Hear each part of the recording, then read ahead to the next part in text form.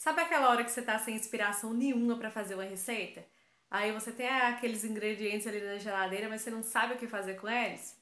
Pois é, o que, que a gente faz? A gente vai por Google pesquisar a receita. E foi pesquisando que eu encontrei uma receita super facinha naquele site Panelinha, não sei se vocês já viram dizer, que é da Rita Lobo, que ela já escreveu vários livros de culinária e de receitas. Super legal, bem facinha de fazer. Então a receita de hoje vai ser repolho no forno.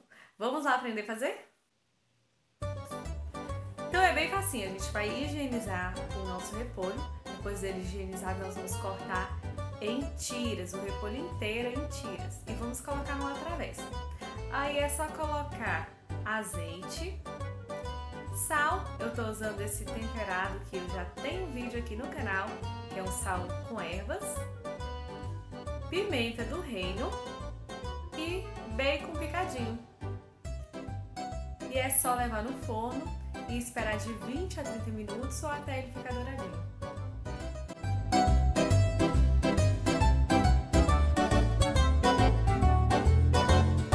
Viram só que delícia, gente? O resultado final, bem legal, fica muito gostoso. E é uma receita assim que você pode inovar, pode colocar queijo, quem consome queijo pode colocar queijo, pode colocar azeitona. Você pode aí usar a sua criatividade, deixa livre a sua criatividade para montar aí o seu repolho no forno. Bem fácil, prático, coisas que a gente tem na geladeira, assim, que às vezes a gente passa despercebido. Igual mesmo, repolho, às vezes eu só penso fazer o quê? Salada de repolho, mais nada. Essa receita também é boa para quem faz dieta palha ou dieta low carb. E há muitas coisas que a gente pode fazer, né?